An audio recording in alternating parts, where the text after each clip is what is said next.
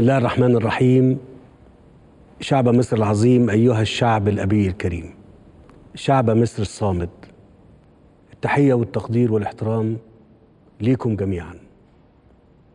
أتحدث إليكم اليوم في لقاء أنا حريص على أن هو يتكرر كل شهر على الأقل. نتكلم على كل الأمور اللي تهم مصر وتهمنا كلنا. ويبقى ده لقاء معاكم كلكم بشكل مباشر من غير من غير وسيط. أبدأ كلامي بتوجيه التعازي بعزي كل المصريين في ابنائنا من رجال القوات المسلحة والشرطة المدنية.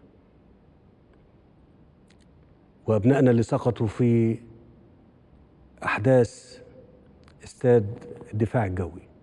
وتوجيه التعازي على شهدائنا اللي سقطوا في ليبيا. شهدائنا دول أبرياء وذبحوا أثناء عملهم.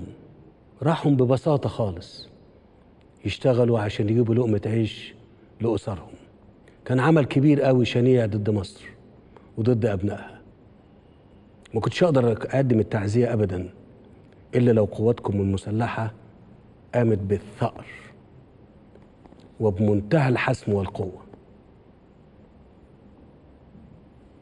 كان ممكن تاني يوم الصبح أروح آه الكاتدرائية وأقدم العزاء إزاي؟ قواتكم المسلحة قامت بما ينبغي أن تقوم به. ردا أنا بقول ردا نحن لا نعتدي لا نهاجم لا نغزو إنما إحنا بنحمي بلدنا وبنحمي شعبنا.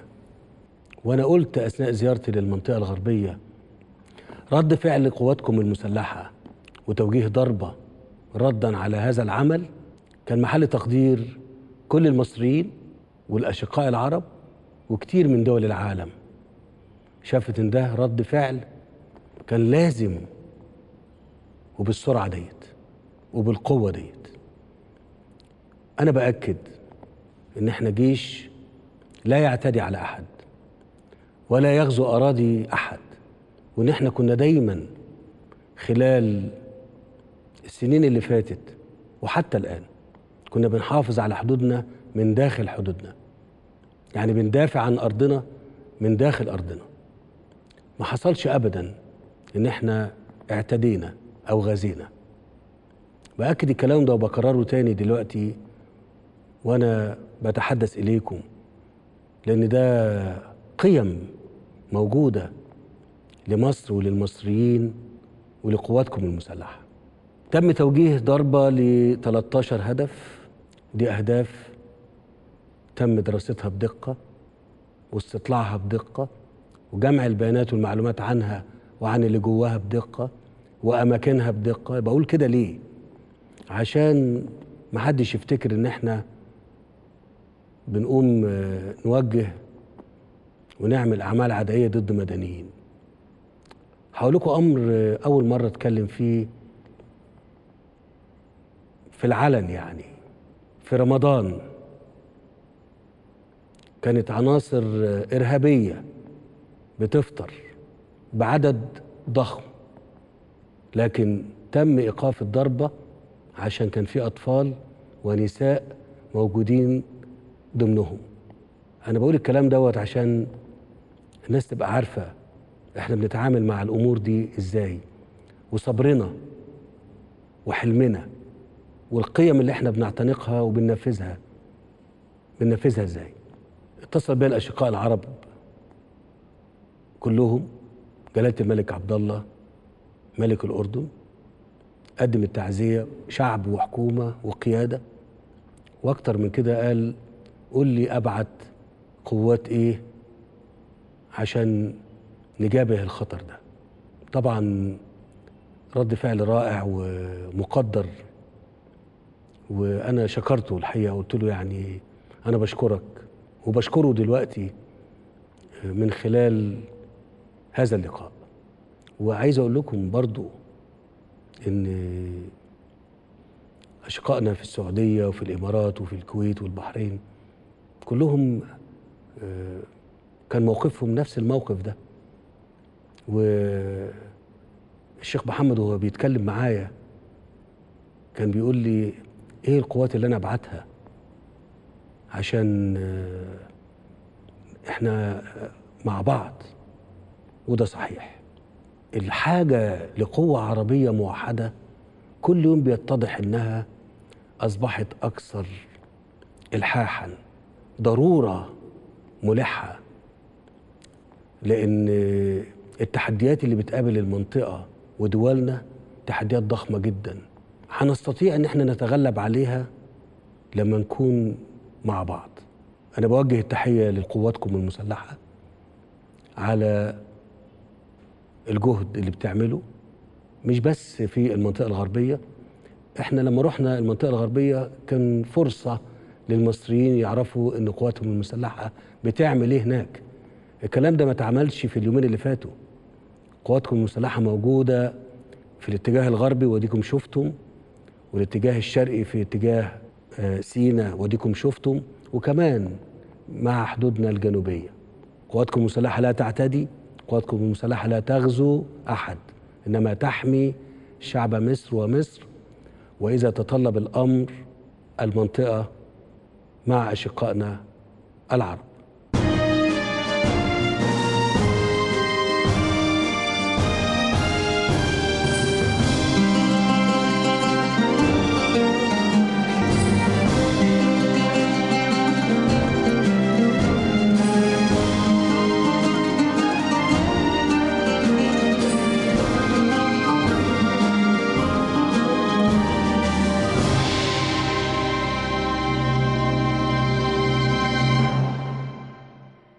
كنت قلت مرة قبل كده إن أي تقصير هيبقى فيه محاسبة للمسؤول اللي هيتسبب في هذه المشكلة أو اللي هيتورط في هذه المشكلة.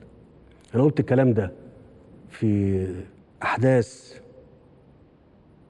آه، مقتل شيماء الصباغ وقلته كمان أو بقوله كمان في أحداث الدفاع الجوي.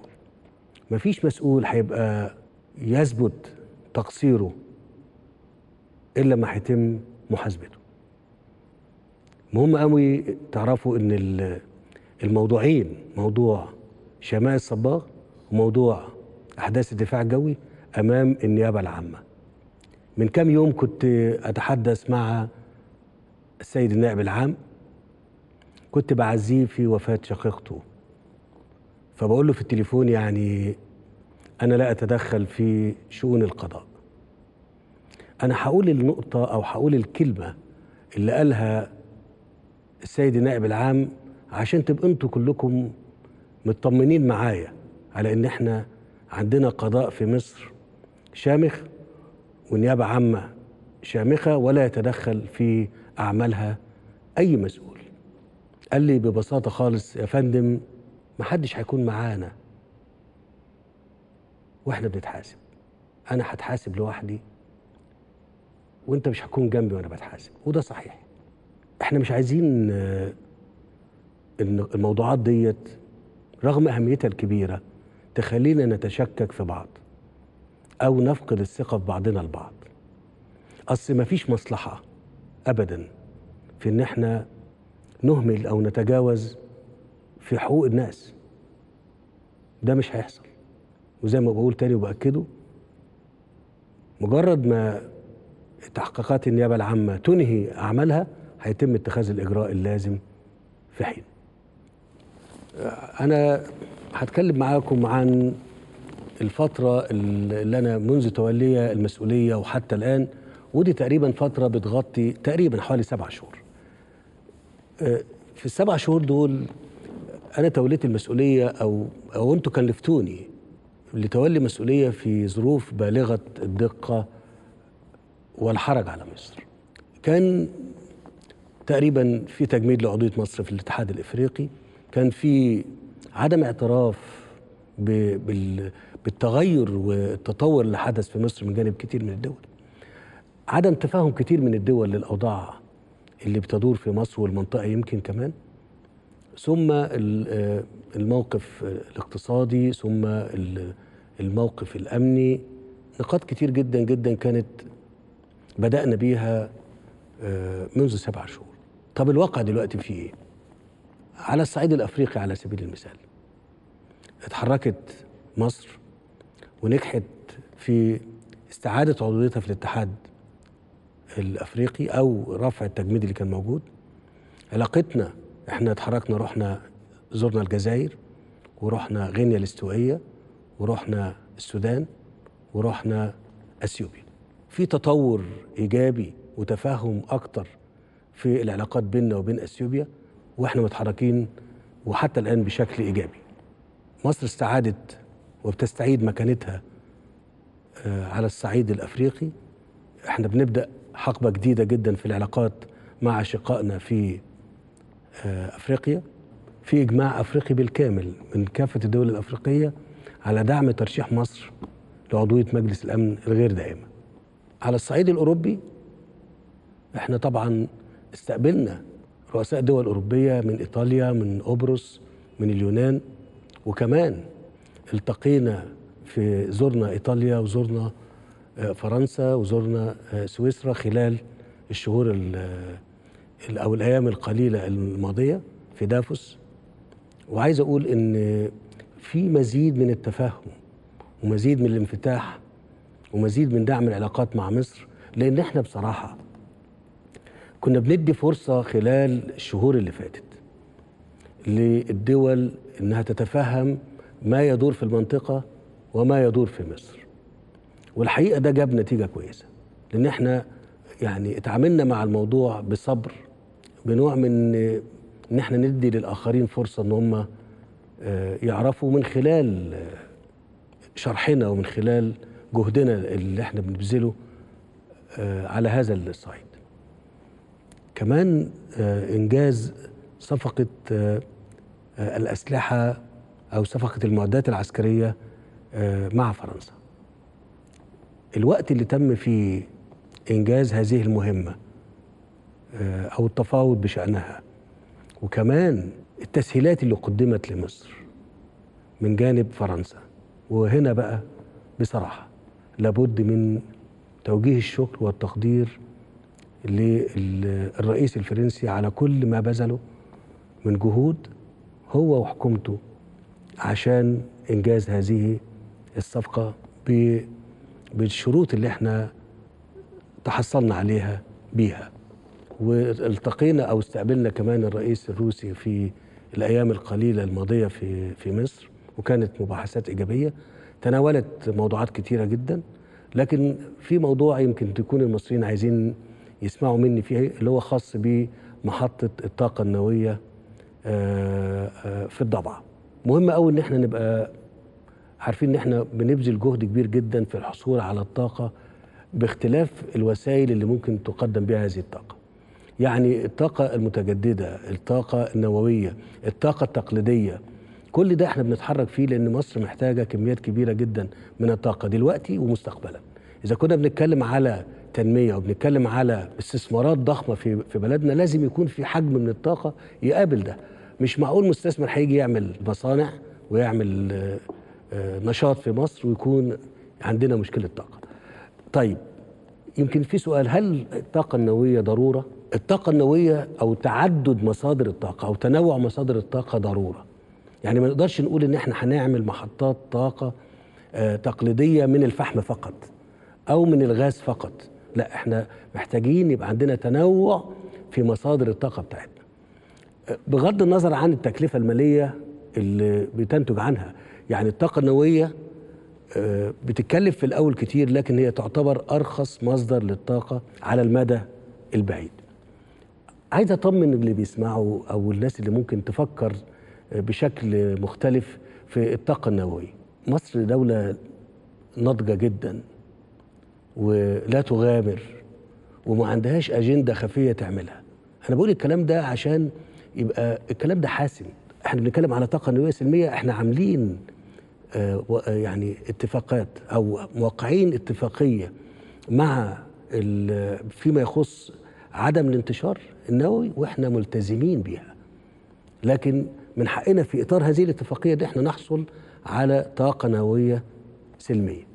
تم زيارة الولايات المتحدة الأمريكية عند إلقاء الكلمة في نيويورك والتقيت بالرئيس أوباما خلال هذه المناسبة.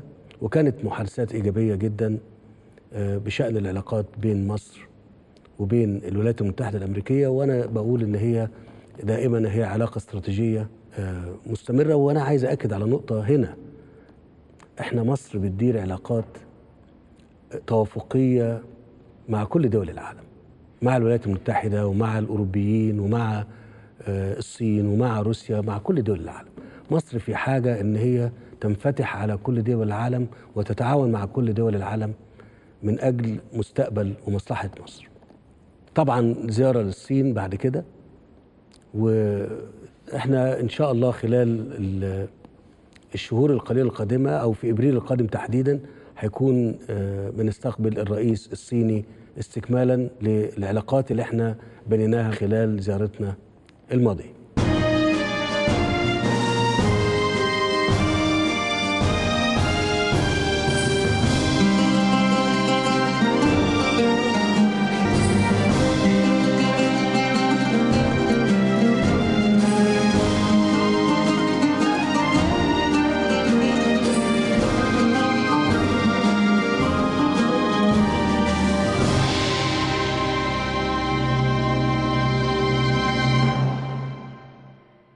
مهم قوي إن أنا أكلمكم على التهديدات اللي موجودة على الاتجاهات الاستراتيجية المختلفة.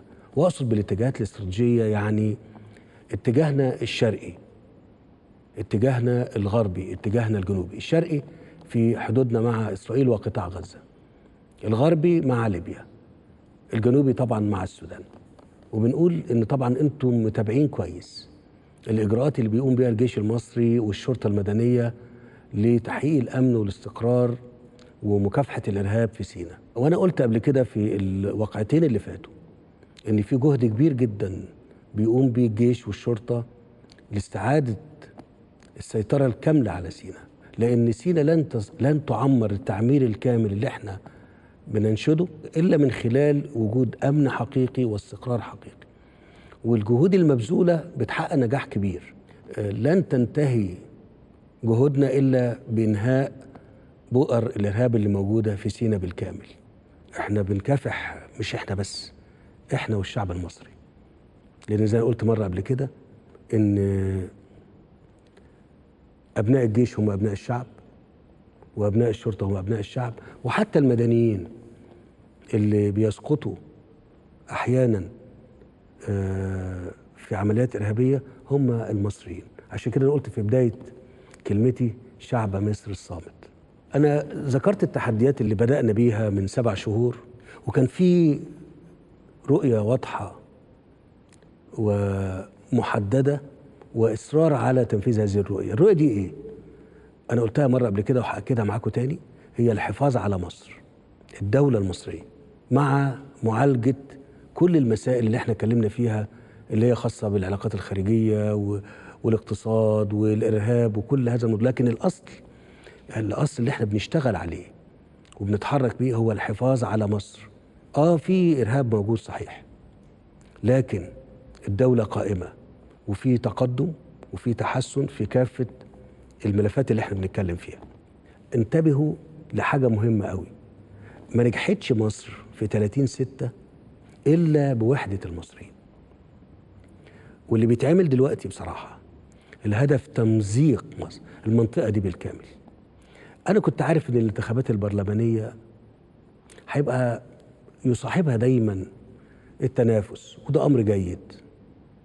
وأنا لما التقيت بالقوى السياسية كنت قصدت بيهم إن أنا أقول لهم عايزين وإحنا بنتنافس نبقى دايما شايفين مصر وحريصين عليها لغاية لما بس نطمن إن الخطر تراجع وإن الدولة عادت بقوة. وده مرحلة. البرلمان القادم مرحلة. وعشان كده يمكن قلت لهم فكروا في إن أنتم تعملوا قايمة واحدة تتفوا فيها مع بعض عشان مش عايزكم مش عايزكم تختلفوا ابدا. تنافسوا صحيح لكن لا نختلف ابدا. وأنا قلت وإحنا قاعدين واكد عليها مش عايزين البرلمان ده والتنافس على الانتخابات القادمة تخلينا ابدا ننسى الهدف الرئيسي. الهدف الرئيسي هو وحدة المصريين كلهم. محدش ابدا يعني يقول أنا مش هشارك يعني. مش مطلوب إن إحنا غير إن إحنا نتحرك عشان نخلص الاستحقاق الأخير في بناء مؤسسات الدولة وهو البرلمان القادم. بس دلوقتي زي ما قلت كده إن الرؤية هو الحفاظ على بلدنا. آه، الهدف الكبير إن مصر ومش بس مصر والمنطقة كمان.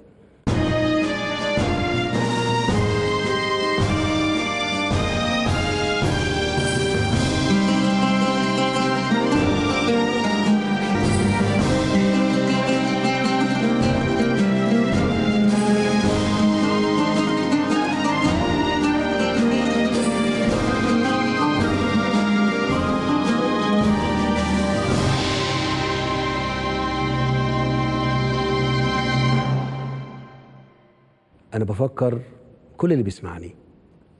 الجيل الرابع من الحروب ده جيل في منتهى الخطورة بيتم استخدامه في المنطقة بالكامل وفي مصر. الجيل ده بيستخدم فيه الإرهاب كوسيلة بتستخدم فيه وسائل الاتصال الحديثة بتستخدم فيه الشائعات الحرب النفسية. منظومة متكاملة بتشتغل عشان تجيب نتيجة هائلة. ما تقولش اللي بيتقال ده اتقال ولا ما اتقالش؟ اللي بيتقال ده بيتقال ليه؟ هدفه إيه؟ أنا ألتقيت بكل أطياف المجتمع المصري. وعايز أقول لكم إن أنا اتكلمت تقريبا كلام مسجل صوت وصورة ما يقرب من ألف ساعة.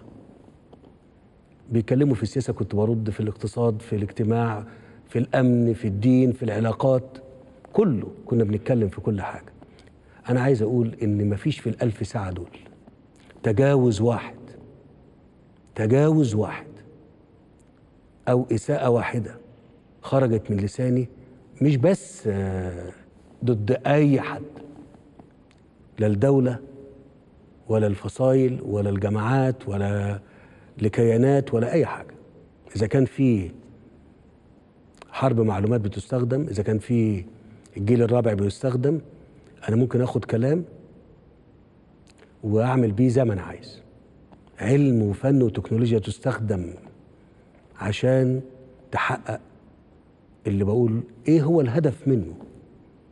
طب أنا إذا كنت أنا لا أتجاوز أسمح إن حد يتجاوز قدامي؟ طب ليه؟ أنا مش ه... مش هوضح أكتر من كده. لكن اشقائنا في الخليج لازم يكونوا عارفين كويس إن إحنا بننظر لهم بكل تقدير وبكل احترام وبكل حب. مهم قوي وإحنا بنتكلم على علاقتنا بأشقائنا في الخليج إن إحنا نأكد على إن كل المحاولات اللي بتتعمل ديت دلوقتي لإثارة الخلاف أو الشقاق. بيننا وبين أشقائنا لازم نكون منتبهين ليها كويس قوي بصراحة مصر خلال الشهور اللي فاتت وتحديدا من 30 6 وحتى الآن حجم الدعم اللي أشقائنا في السعودية والإمارات والكويت كان هو أحد الأسباب الرئيسية اللي إحنا مصر استطاعت إن هي تقف وتصمد أمام كل التحديات اللي جابهتها يعني بلا مبالغة لولا هذا الدعم من جانب أشقائنا. وهقولهم مرة تانية تقديرا لدورهم السعودية الإمارات الكويت. هذا الدعم هو السبب الرئيسي في استمرار صمود مصر أمام كل التحديات والصعوبات اللي واجهتها. مهم قوي إن أنتوا تعرفوا إن إحنا لا يمكن ابدا نسيء ليكم. ابدا. لأن إحنا حتى اللي أساءوا لينا لم نسيء لهم. فما بال اللي دايما كانوا واقفين جنبينا. إحنا معكم في مواجهه كل التحديات اللي بتقابلكم وإحنا قادرين معا برضه بفضل الله سبحانه وتعالى على إن إحنا نتغلب على كل هذه التحديات. ولن يستطيع أحد النفاذ فيما بيننا مهما كان قوته ومهما كان تخطيطه ومهما كان مكره اللي بيمكر بيه. الكلام ده أنا بوجه بيه الشكر والتقدير جلالة الملك سلمان لأن باتصالي معاه وكذلك مع أشقائنا في الإمارات والكويت وحتى البحرين. وجدت آه، تفهم للي بيحاك للعلاقات بين مصر وأشقائها في الخليج. ربنا يحفظ بلادكم وخلي كمان بالكم من بلادكم.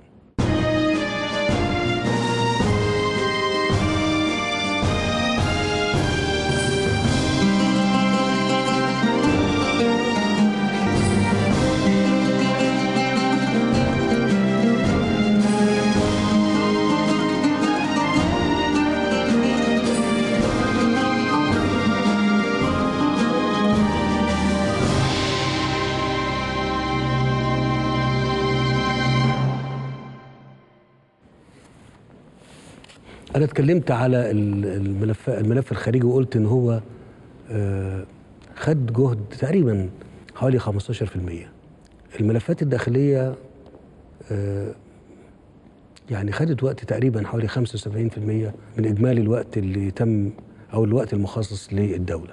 هتكلم على ال- المجالس التخصصية اللي تم تشكيلها. تم تشكيل مجالس تخصصيه على مستوى رئاسة الجمهورية. بنسبة من 50 ل 60% شباب ومرأة من الكفاءات اللي تم اختيارها في المجالس المختلفة. بهدف تقديم ال- ال- المشورة والدراسات اللي بتقوم بتنفيذها آه، في مجالات كتير آه، للمجتمع وللتعليم والخطاب الديني وكافة الملفات اللي هي بتهم الدولة في المرحلة ديت. في إطار العدالة الاجتماعية إن المناطق ال- آه، الاكثر احتياجا وتطويرها إحنا بنتكلم إن مليار جنيه آه، لتطوير منطقة الدويقه تحيا مصر هتساهم ب 500 مليون والدولة تساهم ب 500 مليون ويبقى أول منطقة آه، أكثر احتياجا تم تطويرها بشكل كامل تبقى منطقة الدويقه ولسه هنعمل مزيد من العمل في في إطار تطوير المناطق آه، الأقل أو الأكثر احتياجا يعني آه، تم آه، إطلاق المجموعة الأولى من الغارمات عشان نقول إن مصر بلا غارمات. آه، كان أثناء لقائي مع الشباب الإعلاميين تحدثوا عن إن في مجموعة من الشباب محبوسين وهم بي- بينقلوا وجهة النظر ديت وأنا قلت لهم أنا ما بنكرش إن ممكن يكون في شباب آه، أبرياء. أنا ما بنكرش ده. نتيجة الحالة اللي إحنا موجودين فيها. قلت لهم أنا مع وزارة الداخلية ومع اتحركوا لفوا أو تفقدوا كافة السجون اللي موجودة وشوفوا والقائمه اللي هتجيبوها آه، إحنا هنعمل على إطلاق آه، صراحة وده أمر في إطار الصلاحيات المتاحة. خلال أيام قليلة قادمة هيكون الدفعة الأولى من شبابنا آه، اللي موجودين في محتجزين آه، هيتم الإفراج عنه. آه، برضو ما ننساش في العدالة الاجتماعية الحقيقة إن إحنا في اتجاهين. الاتجاه الأولاني إن إحنا نوفر منافذ للشباب اللي بنتكلم على عربيات مجهزة ثلاجات يشتغل بالعربية دي من اثنين لثلاثه شاب يتحركوا للمناطق المختلفة وتبقى متقننة الأماكن اللي هم هيقعدوا فيها ياخدوا السلع دي بأسعار مناسبة للناس آه، في المناطق اللي هي الأكثر احتياجا. ده خلال الأسابيع القليلة القادمة هنكون آه، العربيات وصلت وجهزت ويتم توزيعها على الشباب والمنافذ اللي هم هياخدوا منها الحاجة. يعني المنظومه كلها بالكامل تكون ترتبت بشكل آه، كويس. فيما يخص الفلاحين وده أمر في منتهى الأهمية إن إحنا نتكلم فيه. إحنا اتخفضت غرامات آه، خاصة بزراعة القطن والرز وتم إسقاط وتأجيل ديون صغار الفلاحين. وبنعمل على تطوير بنك البنك الزراعي عشان يقوم بدور أكبر من الدور اللي هو اللي كتير من الناس حاسة إنه محتاج يتطور ويتحسن عن الوضع اللي إحنا فيه. بنحل المشاكل اللي موجودة خاصة بال يعني زراعة القطن ال- القمح الرز السماد. مش هقول إن إحنا ننهيها كلها لكن على الأقل نقلل منها. وإحنا التقيت بالفلاحين وسمعت منهم وبنتحرك طبقا لكتير من الموضوعات اللي هم أثروها. برضو في إطار العدالة الاجتماعية بنتكلم على في واحد وستة من عشرة مليار جنيه متخصصة لصالح تطوير القرى الأكثر آه، احتياجا. كمان تم تخصيص 100 مليون جنيه ل آه، أطفال آه، اطفالنا اللي موجودين في الشارع. أنا ما بقولش التعبير دوت بي- بيؤلمنا جدا إن إحنا نتكلم عن لحمنا. ما كناش نقدر نسيبهم ومش هنقدر نسيبهم. ونغفل أو نبص كده بعيد عنهم ونسيبهم. فتخصص 100 مليون جنيه ده مبلغ أولي لكن لسه في هيتم تخصيص مبالغ أخرى لمعالجة هذه الظاهرة. كنا قلنا قبل كده إن إحنا هن- هنعمل أربع آه، مدن لذوي القدرات أو لذوي الاحتياجات الخاصة. المجالس المتخصصة ولما اشتغلت في اللي هي المجلس تطوير المجتمع تحديدا لما اشتغل على الموضوع ده وجدنا إن الدول المتقدمة آه، لما جت عالجت المسألة ديت ما حطتش ذوي الاحتياجات الخاصة أو ذوي القدرات الخاصة وعزلتهم. لا ده هي خلتهم جزء من المجتمع. وده اللي بيتم دراسته دلوقتي عشان يبقى إحنا وإحنا بنعمل آه، معالجة لهذه آه، هذه المشكلة يبقى بنعالجها على آه، أحدث آه، النظم وأحدث الأساليب آه، اللي بيتم آه، التعامل بيها في العالم.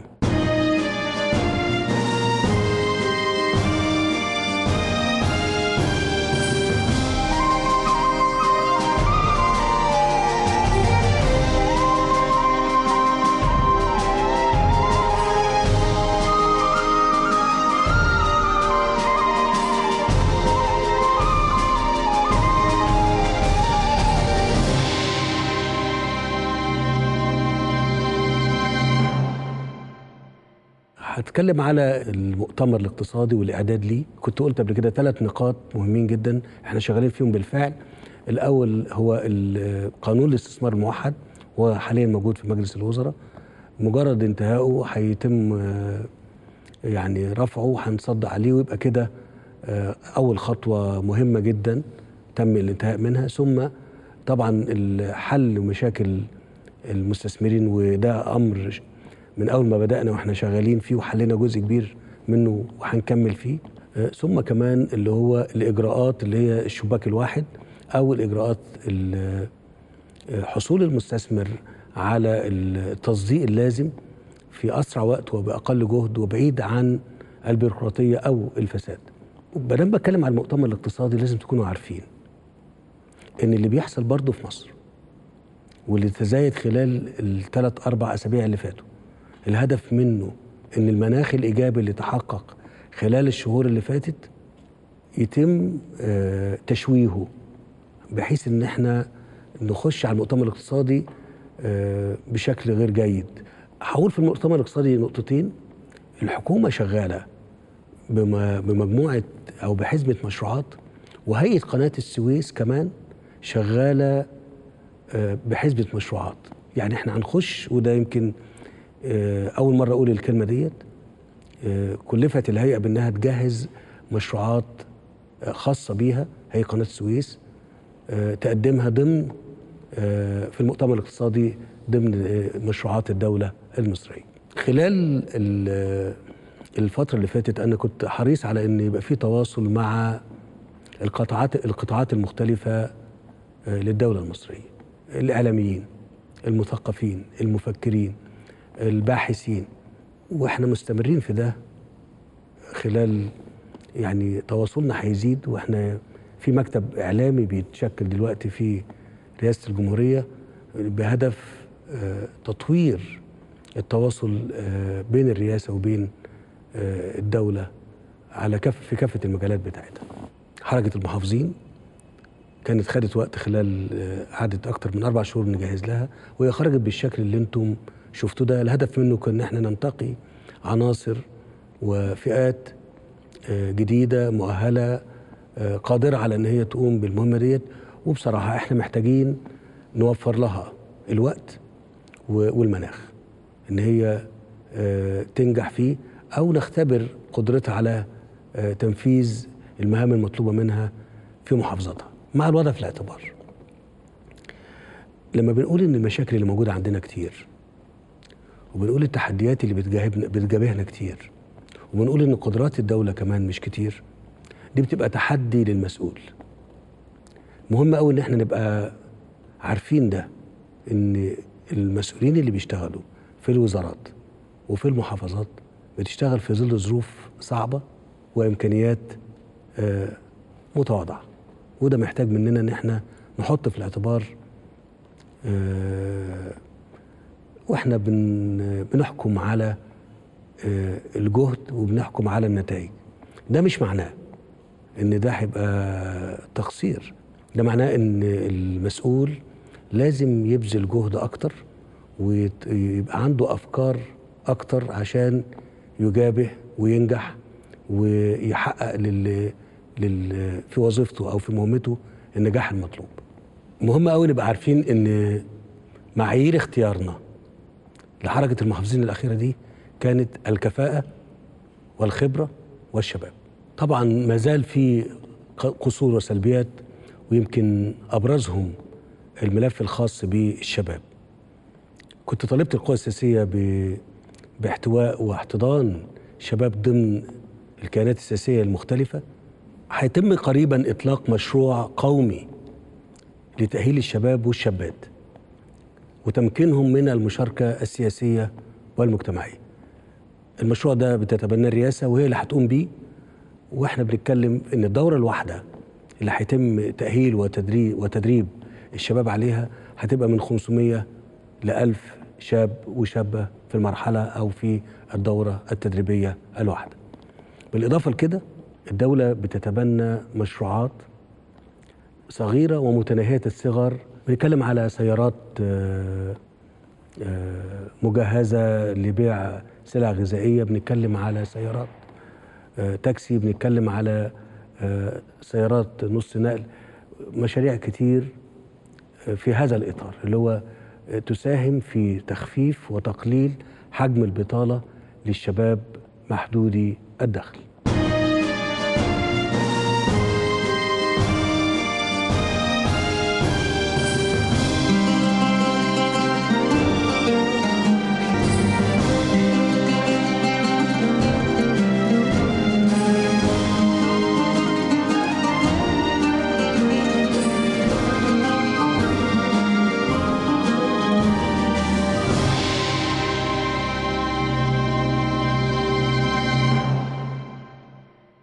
في نهاية حديثي بأكد إن كل التحديات اللي إحنا اتكلمنا عنها وكل المصاعب اللي بيتم آه، وضعها في طريق مصر لن يستطيع أحد بفضل الله سبحانه وتعالى وبإرادة المصريين إرادة المصريين اللي غيرت في 25 يناير وفي 30 ستة غير قابلة أبدا إن حد يستطيع أن يقهر هذه الإرادة.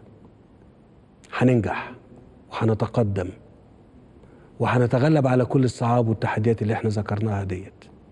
أنا ما عنديش شك أبدا في نصر ربنا لينا لأن إحنا المصريين بنسعى للسلام وبنسعى للأمن والاستقرار والبناء والتعمير والخير مش لحاجة تانية. بطلب منكم وبطلب من كل اللي بيسمعني يدعو لمصر. يدعو لمصر ويدعو لمصر وللمنطقة العربية بالكامل إنها تنجو من الفتن والشرور المحيطة بها. وإن شاء الله سننجو وستتقدم مصر والمنطقة العربية. تحيا مصر. تحيا مصر. تحيا مصر. شكرا والسلام عليكم ورحمة الله وبركاته.